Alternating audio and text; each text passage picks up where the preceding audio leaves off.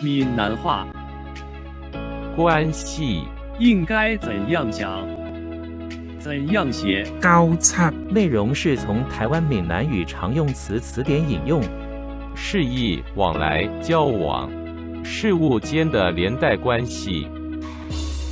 这件代志甲伊无交叉，这件事情跟他无关。